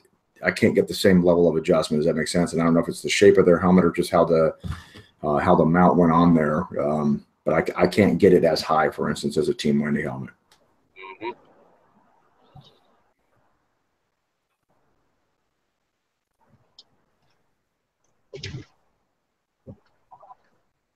Is that as far as like your night vision adjustment is that just in general use or is that also under wearing a gas mask? No i mean I, I, can obviously it, i can adjust it properly right? But, but prior to getting everybody rmrs for to just shoot through the night vision versus go to white light and, and go underneath to find irons uh, we were intentionally riding them fairly high so that we could look under the nods easier, you know, you're picking your pistol up kind of thing. And uh, a buddy of mine with a Team Wendy were like, man, there's clearly an adjustment issue with this shit. But now, I mean, where everybody's got RMRs in their pistols. Um, so it's a, it's a non-issue. So I, I mean, I can get them adjusted properly, Lane, uh, with with and without gas mask. Uh, but there is some um, adjustment height that is that is limited by where the how the Crye is, at least how mine is cut to to um, where my night vision is in the mount. Any new developments on the horizon that you're that anyone's allowed to talk talk about that you're aware of with helmet technology? So one of the things that um, you know, it's always trying to to push that boundary of of weight, um, and that's that's really it. Weight to protection level. Um, you don't you certainly don't want to give up protection level to to uh, to give up weight. Um, so you know, it, it, when they're 2.6 pounds as a complete helmet, um, it's uh, where are you going? You know, I mean, how far can you go without giving that up? Um, and then it's the um, then it's the face protection. So that's the next level, and um, where um, you know more SWAT as I'm as I'm meeting them and, and talking with them, or are even being involved with uh, call outs for riot um, and uh, civil civil disturbance. Um, so you need you know a ballistic um, uh, protection on the face where you know it's a visor where it's nothing you've ever had or a mandible um, and a mandible is something that, that covers and protects your your jawline um, for a breacher um, you know or the, or the first two men on the stack. Um, you know so it's it's that that protection level. Are you how far are you going to uh, protect and in what areas you know where it used to be you just run in a room and and that was you're you're a first man in and that was it. Um, and now it's you know you're first man in well we need to provide or i need i need to buy a little bit more protection for my for what's important which is my face. You know i can't see i can't i can't work. Um, so look at bill. He, he's going to be retiring soon that modeling career will be over good point man you got you got to keep it looking keep it looking fresh no doubt He's a hand model, dude. He's a hand model. Oh, that's what it was. Wait till he grows a beard. so, uh, reduction in weight and just better coverage are the directions. Oh, that's cool. I'd be also interested in with the additional, with those two directions, how it also works in conjunction with gas masks. Yeah, I, we uh, I don't remember who the fuck makes that mandible goddamn thing. Um, is it Revision that makes some kind of a shit that is an aftermarket slap on your face thing? So. OpsCore and Revision make one currently. Actually, I think it was the OpsCore one because it was uh, one of our master breachers had an OpsCore at the time. He's a Team Wendy guy now. Uh, but we fucked around with that. And we were thinking, well, potential for the breachers, uh, both explosive and ballistic, because you tend to get some shit back in your face um, and just outfit those guys uh, with those things from the get-go. But you're right, the weight of them, they're, you know, they're kind of cumbersome. It's harder to shoulder your rifle. Um, so yeah, I, I, mean, if you guys can can crack that code, that I would bet you that's something most guys would pick up. Um, but yeah, it's a tough one, man. When you're to do everything that you want it to do, right? Be able to to shoot effectively, see everything, not fuck with your down peripheral, um, and provide you with a decent level of protection um, is probably is probably very hard. So uh, you know, I don't know. It doesn't seem that fucking hard to me. I don't know what you guys do all day over there at the Team Wendy factory, but for fuck's sake, get on your jobs, man. Oh, that's why we have really smart engineers. I will say, man, in my uh, it is it is interesting to me. Um, you know, came, came on SWAT in 1995, and the advancements in so much shit and, and helmets obviously being one component of that. The, the crap we started with, and across the board, the whole helmet period was heavier than shit. The suspension systems blew ass. Uh, no, no way to get any kind of, uh, of, accessories, you know, put on that thing. Um, you know, and then incrementally over time, it's just gotten, you know, just easier to attach shit, easier to customize for the guys using it. Um, you know, it just, it, has been pretty remarkable. And some of the, I mean, I don't know if we're moving on to advancements in, in helmets period, but, uh, you know, just some of the shit that's coming out um, on the night vision side is is goddamn amazing uh, that we're putting on now. The the um, is it Core Survival that makes the Hellstar Six? I think that's the name of the company. But that new F two IFF is badass with the uh, um, it's got a sensor on it that tells you when you're being lased, and then it also buzzes in your fucking head. Uh, I mean that that is some crazy shit, dude. That's like RoboCop crap. You know what I mean? It's it's uh, it's certainly not nothing that I expected to see or or was even thinking about as a brand new SWAT guy, you know, over 20 years ago. And uh, and it's it's pretty cool to watch, man. It's it's pretty badass to watch my dudes be outfitted the way they are. Um, you know, and, and really the, the gear doesn't even affect them anymore. It's just it's you know they put the shit on it and it feels like a ball cap and, and a fucking fishnet tank top. I I wouldn't know what that's like. Sorry. I was wondering pick that up. So everybody's down their head. Yeah. Well, what the fuck did he say? And and don't forget the B.E. My- Meyers MAWL. Mm. If you shine it at a house, a couple couple hundred meters away, it will pop all the popcorn in that house. It's that powerful. Yeah, man. I, it, you know, it's, it, yeah, it's it's a trip, dude. So I, I mean, I just had, I just bought fucking Hellstar sixes, and then that F two came out, and then it's just like, ah, that's, you know, does cop really need that shit? And and then talking a little bit to Chuck, and a little bit to Rich Mason, and, uh, and they made some good points. So you know, it, but no, of course now I'm fucking broke, right? I already, threw my wallet out at IFS, so I have to wait a year at least to so the chief forgets he bought me some shit already. But I mean, it's just shit like that, right? You buy something, the next thing you know, some badass new thing is coming out, and you know, you're in you're in your cycle kind of a deal. Uh, one thing, man, on the patrol side, the other thing that I see though a lot of, man, is uh, you know, you start to look at it and you go, well, fuck, we got a hundred patrol cops, right? Now ain't a big agency, but that's that's pretty normal mid-sized agency. hundred patrol cops and a thousand dollars for a helmet. No, that equals X amount. Oh, sweet Jesus, what are we doing? This and that, the other thing.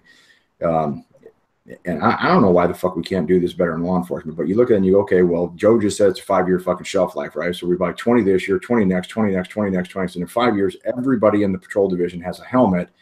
And the next year we buy 20 more to replace the, the ones that are now five year fucking years old, right? Uh, and so the expense is less and you just have to forecast it. Um, you know, and then, and then unfortunately you're gonna have to tell, you know, however the hell you want to do it. And it, probably the easiest thing is the, the 20 seniorist guys in the patrol division get the first fucking 20 helmets. So, you know, you don't get much for seniority, but by God, you're to get a helmet first. Um, and then you just start breaking it down from there. So the newest guys get it last, but eventually everybody's got a fucking helmet. And, you know, if you sit around and twiddle your thumbs and go, well, we're going to come up with a hundred thousand dollars, well, you're never going to fucking come up with helmets for a patrol division. So start somewhere, man. Buy a few of them now, put them out there, and uh, you know, and, and, just get cracking on shit. It, it, it, sometimes it just blows my fucking mind. Sometimes that it, we make it way more difficult, and, and, maybe to be fair to everybody, and we don't want to give one guy one and not the other. Well, fuck, man. You know, dudes get it. I mean, you know, they run a household budget. They understand sometimes you, every, every kid doesn't get the bubble gum. Fuck's sake, man. Do something. Or a pudding cup. But with that in mind, uh, be smart about what you're buying and don't be buying this generic Chinese crap that's being touted as something that's actually reputable. Hmm.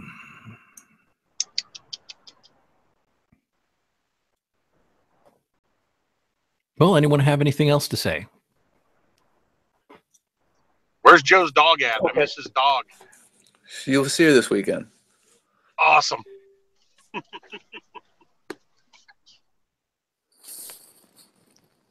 No, I, I'll, I got a boater. So what I was going to say is, uh, I spent uh, the month of November and December. I was teaching a, uh, a SWAT dog class here locally. and We were spending a lot of time, you know, working on our night vision and doing a lot of work with guys. And, and I managed to get my hands on um, a bunch of demo or sample helmets. And these were these were, and Joe could probably go a little deeper in this after I leave, but these were actually ProTech helmets that actually had the Team Wendy liners in them and the Team Wendy suspension systems on them. And uh, as I, you know, I had my Crye helmet, et cetera, and our guys showed up with like PASGT helmets, et cetera. But it was amazing how when we started going in and spending, you know, eight hour days and 10 hour days doing our, you know, working these uh, in the dark area under a green screen with dogs, every dude that could get his hands on that helmet that had that Team Wendy suspension, that BOA suspension system, when they were running night vision, they just wanted it. They grabbed it and they threw it on there. And I mean, you had to like pry it out of their cold, dead hands to use it. And and even me, you know, I had a different helmet, obviously with a different suspension system. Every once in a while, I'd walk over with my set of you know binocular night vision. I'd grab that helmet with that suspension system so I could slap it on and use it. So I felt nice and comfortable too. So, you know, that's just this is the proof in the pudding right there that you know that that whole concept behind that you know using a a, a ski snowboard compression system where it's a little cable buckle that has a quick release that takes that cable and it just kind of compresses nice and easy like a boa constrictor and puts it on your head. I mean, every time I took those night vision and slapped them down, I didn't have to worry about my helmet tilting. I didn't have to worry about my nods flopping down out of the way or banging into my uh, iPro or anything like that. So so I, I, was a big fan, and it took me a while, but I got around to getting a hold of Joe, and I asked him a couple questions about, hey, I'm ready to upfit my my helmet. Am I getting the right size for this Team Wendy suspension system? So, so I'm sold on it. I'm super happy with it. Uh, I learned a lot tonight, getting a chance to talk with Joe, just ask him a couple questions, learning about, you know, again the whole the the whatever the hell the xylitol or whatever the material is and how that works. But uh, I appreciate him taking the time to, to get that information and again, get this information out to everybody so they can learn about it. So that's all I got to say. And with that in mind, I'm going to go ahead and punch on out, guys. So you guys have a good night. We'll see you later. See you later. Bye, See you Lane. later. Literally. So it, it, I, I hit a little bit on the uh, the customer service, and guys are I think they immediately think about if something breaks, and I even said that myself, right? What if there's a, an issue? What if the whatever the fuck, right? The the Velcro is not sticking, whatever the fuck. I mean, and but that isn't the only component of customer service. And, and so I brought up, well, here's an ACH at Galls, but the person you talk to at Galls, do they really know fucking helmets? Does that make sense? And so a chunk of the customer service when you go to the, the big three manufacturers is those motherfuckers know armor uh, because that's all they do. Is that you know what I'm saying? So their ability to talk to you about necessity and and what you need and sizing and all that kind of shit is obviously going to be increased. I mean, Joe clearly knows helmets, you know, better than the, the lady at Galls when you call the one eight hundred Galls number. uh, You know, um, and, and so there is some value in that of talking to dudes that that actually get it and uh, you know. Uh, everybody, you know, I keep, you know, the industry's got this and that, and you know, the, tactics and uh, gear and gun industry. But I'm telling you, man, everybody I've met actually gives a fuck about what they're selling and who they're selling the shit to, right? Um, and, and so I think the other thing you get from a big manufacturer and, and a, a, a reputable company are people that are not only experts in the field, but they actually give a fuck about the welfare of the people they're selling this shit to. Uh, and so they're not going to steer you wrong. You, you know, you're not going to get junk and garbage. Um, uh, you know, and I, I don't know Joe obviously very well, but uh, my guess is if an administrator called and said, I'm trying to outfit a patrol division for 500 helmets, I can't afford yours. Joe would probably say, then here, man, here's an option for you, man. You might need to look at this to actually get ballistic protection for your guys' heads. Uh, and, and that's a huge difference, I think, than a company that would just say, well, well, hold on. We, we got the super sale model here that we can square you away with. Um, and so there's some value in that, man, right? Just talking to, to dudes that know what the fuck their their their business is about, and, and giving a shit about the guys that are that are actually wearing the crap in harm's way um, is worth its weight in gold to me. So uh, you know, something else to consider. And uh, again, the, the individual patrol officer, man, it's uh,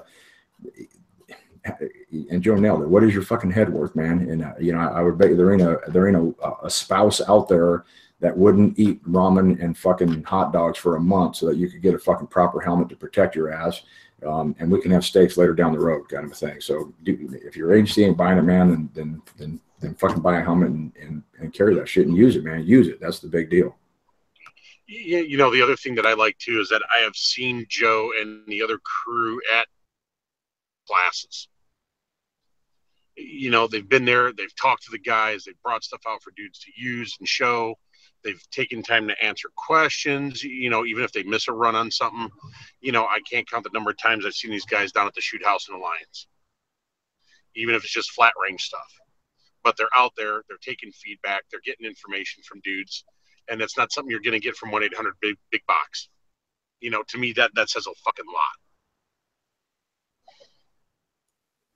So one of the things that uh, you know, I'm not, and I don't know how to sound say this without coming off like it's it's. Uh, I don't know.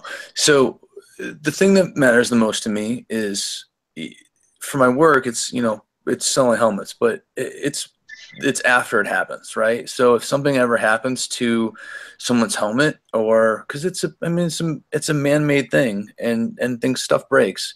Um, you know, this is not soccer mom or you know uh, Joe Weekend um, wearing them. I mean, there are people that wear them that that buy them that might never even use them, but it's the guys that I talk to on a daily basis that if something happens, that's the most important thing to me is getting it figured out, getting it squared back away, um, because you know maybe they, they dropped it, maybe you know somebody slammed a, the door on it and and it broke something. You know, who knows? But that's that's what I care the most about, um, and that's what I know for a fact, and and uh, it's not just Team Wendy, but it's it's what we all should be striving for is making sure that we have um, the best customer support for the people that are buying our products, especially the people that are um, listening to this. Right? It's this is a ballistic helmet. It's meant to to do something very specific, um, and those are those are no joke circumstances. So that's really all I have to say about it.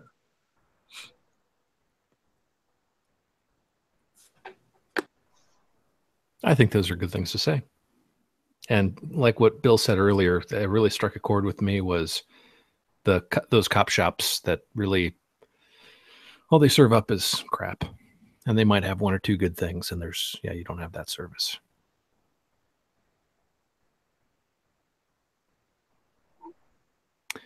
Shall we wrap it up? yeah. Um, so last thing I want to tell you guys, uh, for everybody listening is if you guys ever need anything, uh, questions about helmet, um, questions for me, uh, you know, my my Facebook, my email address. Um, you know, I can link that somewhere. Uh, just reach out to me. Um, and if if your apartment's looking at helmets and they can't afford them, let me know. I can always point you in the right direction or things that I would suggest, um, things not to look for, or things to look for. Um, so just just let me know whatever you guys need. Um, if you guys ever just want to go shoot and let me know. Um, but yeah, anything you guys ever need, just give me a shout. If I can't do it, we'll figure out a way we can. So. Also, when stuff comes up either on our forum or on any of the Facebook groups specifically about helmets, we're able to to link you or to, yeah. to tag you to include you because it's nice to have industry professionals that know what the hell they're talking about, and we don't need to rely on people to to to, guess or to just say what they think looks cool. No, we need results. This is this is real world. Yeah. I'm tired of people. That's others to it. So, Steve. Yes, sir. Any closing remarks? Where are you teaching this week? Uh, I am at, yeah, where haven't I been this whole month? Uh, I will be at the Alliance Police Training Facility this weekend. Doing a little uh, home defense class for all the peoples coming in, and it's gonna be a good time. Hawaii of the Midwest. I think, yes, I think I think Joe's even showing up to come get his gun on for a while. And so the the staff at the Hicks already know you're coming. Uh, yes. yes, they do. Yeah, that was that was kind of cool. Going there, staying at the Hicks, and they already know who mm-hmm. Steve Fisher is. Oh yeah, they should know. Yeah. Uh, been a lot of years there. A lot of years at that place. Been a lot of changes for good and better. and Bill. Uh, I'm uh, this month. I'll be at TTPOA. I'm doing uh, two shield classes uh, at the uh, conference down there. And since you mentioned it, the it, one of the a helmet is an integral part of being a good shield user because you got to sink yourself into the viewport to get peripheral. I, I, typically make them do the DT shit slick, right? Just because the shields will get heavy after after two days of holding them. but I always tell them, I said, man, somebody's going to get busted in the fucking forehead so you got to sink your head against this thing, right? Blah blah blah. And no, everybody somebody doesn't know. They'll throw a strike on the shield and it'll tilt back and smack them in the head. So there's another thing you need a goddamn uh, good helmet for. So um, down there doing that, and then I have I'm doing a, uh, a closed course for an, uh, an organization that bought mall. So I'm going to give them a two day uh, mall update in May, and then a basic SWAT school in May as well.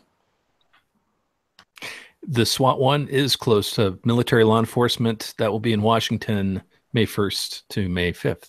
Yeah, that's actually almost almost full too, right? I mean, that the thing's so. pretty goddamn fast. So yeah, well, was, that's Bill Blowers. What do you expect? Yeah, yeah. Uh, you know, the TTPOA thing. Uh, you know, as much as guys bust my balls about ballistic shields and shit, um, I, I, was I'm happy to see that both those classes filled up though. So it'll be it'll be nice to meet some Texas coppers and show them how to run that shield around and, and run the pistols with the shield in their hands and that kind of thing. So pretty looking forward to that.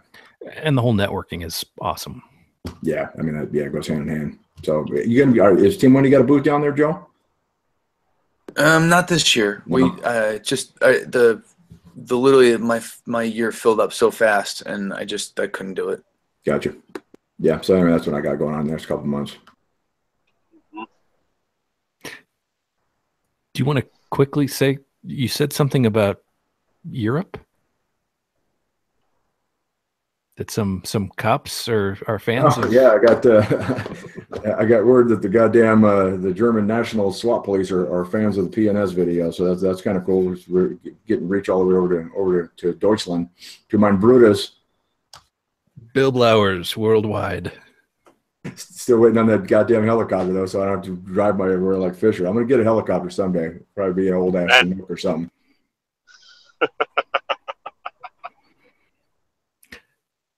and Joe. any any closing remarks? Anything anything's coming up? Uh, your your next concert dates? Um, no, I just start traveling again. Um, the next thing I go to would be a uh, ADS event, which is one of our distributors. But um, other than that, I'll start hitting the uh, the tactical office associations as they come up. And uh, but yeah, anybody ever needs anything, just give me a shout. Cool. Hey, yeah, and and you're in the uh, the primary and secondary Facebook groups. Mhm. We we we use you as needed. Yeah, cool. Well, thanks for That's joining that's us. That's how I appreciate it. Yeah. Um, it's cool because uh, I think it was Jeff Carpenter gave me a list of topics that we needed to cover, and this was on the very top of the list. Mm. And yeah, this is important stuff, and a lot of people don't completely understand what's involved in helmets. They're they don't exactly understand what quality means. And just like everything else, yeah, there are tiers, there's there are knockoffs, ripoffs, and then there's the real stuff. So um that should that should do it. You should you um yeah, I can't think anything else. You can find us at primaryandsecondary.com. We have a forum at primaryandsecondary.com slash forum. We have 736 different Facebook groups, all starting with P ampersand S hyphen and then whatever. There are a couple also knockoff versions of those too. Um, obviously, we are on YouTube and we are also also on iTunes, Instagram, Twitter, Stitcher Radio, and Google Play. Feel free to subscribe, give us a like, spread the word. If you found any of this helpful, please spread the word because that's what this is about. We are trying to spread good info to people that need it. And uh, from my background in basically the middle of nowhere law enforcement, information like this is near priceless. So help us out by spreading the word. Not sure what our next show will be, not sure when it will be, but hopefully we will do it soon. So we'll talk to you soon.